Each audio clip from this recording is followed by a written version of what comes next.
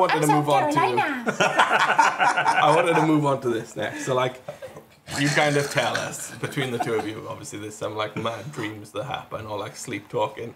So go through some of the like strangest like um, sleep related related uh, conversations you've had.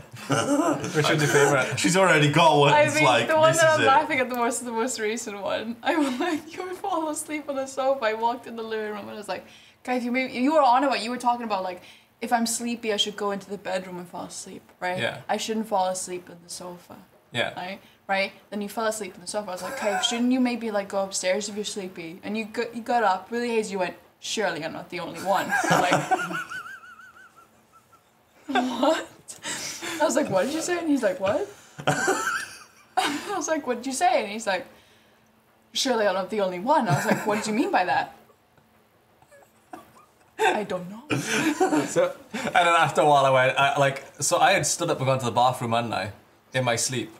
And once I got into the bathroom, I went, don't worry. I don't get it. You fully awaken. You get up and you look at me and go, surely I'm